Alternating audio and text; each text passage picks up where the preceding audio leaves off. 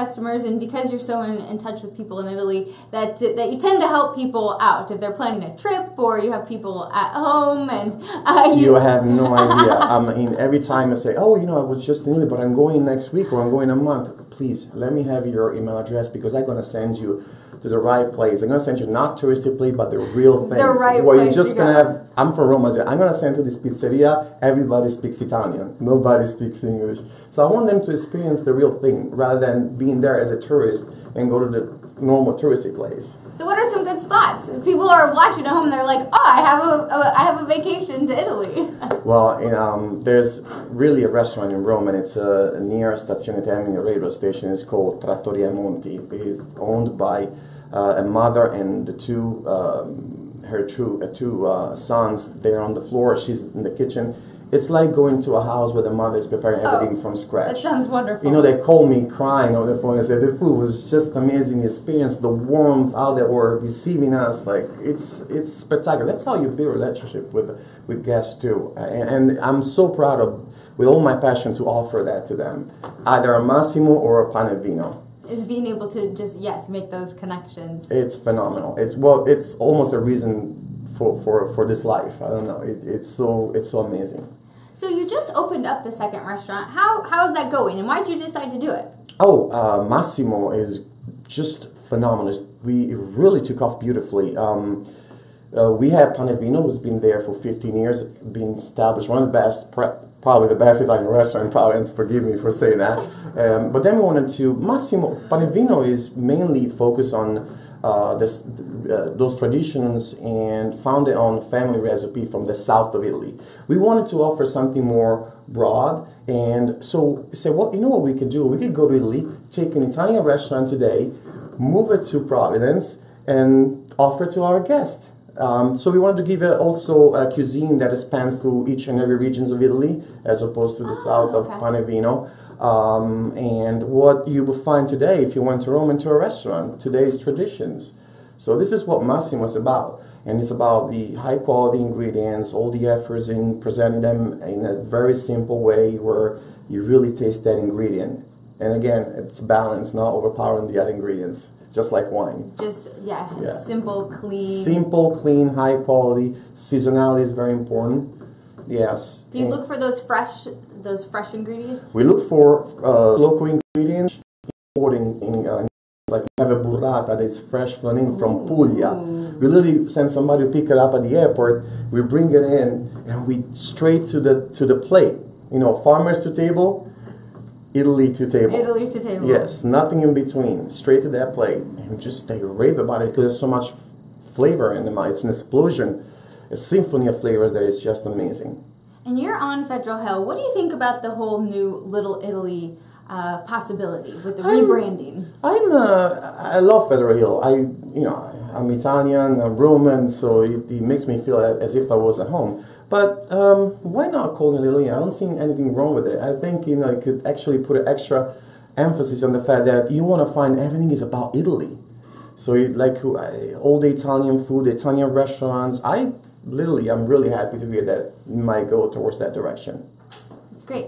And who do you who do you invite to, to come into these restaurants? If you're if you're not really uh, familiar with Italian food, you know sometimes it can be intimidating if you're going to a restaurant and you can't read a menu. I mean, do you welcome anybody to come in and give it a try? Absolutely, I welcome everybody, um, each and every individual. But it's very important. As soon as you welcome somebody, you have to embrace it with so much warmth, so so much hospitality.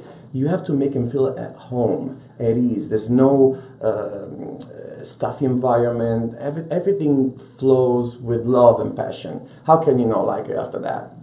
So, where are some places that you like to go eat? What if you're not eating Italian food? What do you like to eat?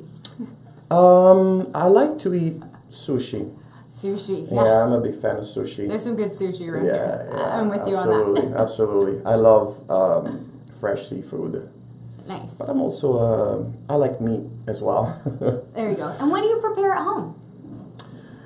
Because you're always at your restaurants, I'm sure, but what do you do at home? I love to cook at home. Um, I have a I'm up in the uh, Burrillville so that the area is beautiful. So I have a, this beautiful kitchen. I could see while I'm cooking the birds and all that. And so I get a spy, a little glass of wine. I like to take my time in putting all the ingredients together. I cook mostly Italian. Um, I'm Roman, so I cook a lot of uh, Roman dishes like spaghetti alla carbonara uh, that we offer at Massimo, uh, bucatini amatriciana, saltimbocca alla romana. These are all. And I don't know what any of this is, I know, but it sounds delicious. Yeah. And it sounds amazing when you say it. yeah, I love to cook and I like to uh, prepare meat in the oven, let it simmer so the meat gets really tender and absorbs all the flavor. I cook with a lot of wine. I drink, Oh, nice. I drink the wine, but I also cook with it. That's that sounds good. So uh, when you're using when you're when you're cooking at home or whether you're at your restaurants, what are some of your influences? Or do you take when people are like, oh, I don't know what I really want? Uh, do you take suggestions from people if they're like, I'd really like to see this? Yes, um, I, I, do take. It's important that we get feedback from guests. It, it, we based uh, through their feedbacks. I think we can only uh, improve our restaurant. It's, we, I want to. I want to hear what they think about this dish. I want to hear what they think about the wine, um, the environment, the music, how, how cozy it is. Yes, absolutely. For us to take their suggestions is really, really important, and be very accommodating. Even though we have a tradition that we honor, but should they want to have something that's different from what we normally serve, by all means, yes, please, absolutely. We offer something, but we're very accommodating, which is very important days. So you have two restaurants now. What are your goals continuing to move forward? Ah, I mean, it's been, I- it's been a big, have busy to. time. I have to talk to Esther and Joe. Uh, I mean, I know that they're they're. I love them. They're they're beautiful, amazing people, husband and wife, and they do such they did such a great job with Panevino. For me to come on board was just an honor and a privilege. Um, but um, if Massimo continues in that direction, and then I think we're gonna have to find another place, maybe a little little market. You know, we're thinking of a little market. Really? Yeah, And, yeah, and where might that? Oh, I'm I'm assuming Providence. Yes, but uh, right now we have Massimo going in a great direction, and everything seems to be tuned in. And so as soon as we have a little more time, because it's time consuming. Oh, It's a it's a big Massimo's bigger than Panevino. So we have the upstairs, we have a lot of events, we have the downstairs. So it's a lot of work. As soon as you know we find time, we might do might get ourselves into that. And Project. is there maybe a space that you're looking at, or are we Um, no, the too idea far? the idea is there, but Okay. uh, but no, we haven't looked for anything right now. And so, what would that be like?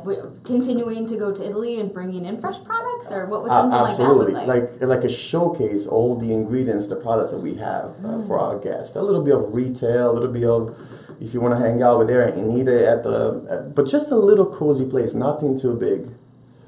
That sounds like Yeah, something. a little fun. Italian market. And how often are you are you in communication with people in Italy? Every day, Every day. every day.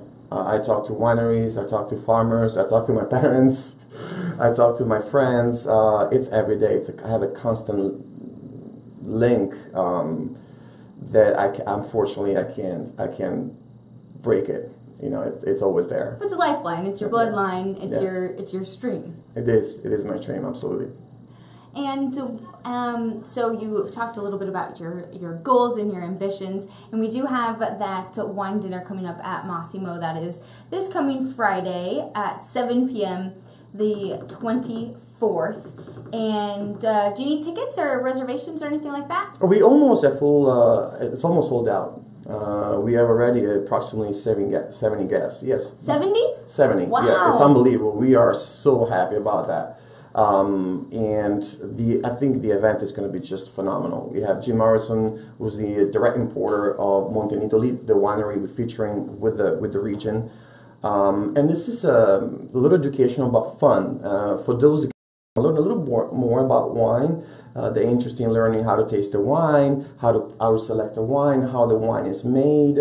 So we just want to increase their knowledge of wine in a very fun uh, way. Nothing like you going to school. Over, It- nothing overbearing. no overbearing, nothing. It's just fun. Eating and drinking and talking about Italy, talking about the winery, and a few tips on, on wine knowledge. How many? Uh, how much wine do you go through if you're going through 70 people? Like, how do you prep for that? Well, we order accordingly, yes. Uh, we give, it's called flights. Each and every um, uh, course has a, uh type of wine. Uh, it's approximately three to four ounces of serving. Um, it's a four course dinner, so we're talking about at least a couple, a couple of glasses of wine. Yeah. We don't want to overdo that, otherwise, you know, the palate goes off. But yeah, that's how we structure it. Yeah, I'm thinking because I'm thinking when I was planning for my wedding, how much I had to order, and just all the prep work that goes into planning these huge events, Yes. and what your kitchen must be like. It must be very busy when you're Oh, planning yeah. for, and Yeah. then continuing to have the restaurant open as well. Uh, so, Because we have the downstairs over on Friday as well. So, so a busy night planned. a busy you. night, busy night, but fun. I'm excited. It sounds wonderful. Well, thank you so much for joining us. I Oh, really it's appreciate absolutely it. my pleasure. Uh, let's take a picture so we can put that up on Facebook. All right, thank you so much, Cristiano. Uh, You're very welcome. You are from Panevino, and Massimo. I appreciate your time. Thank you so much you for so coming much. in. I Thank appreciate it. So if Pleasure you're being interested here. uh, in either the restaurants or the wine dinner, uh, you can check them out. Thank you Thank so you. much.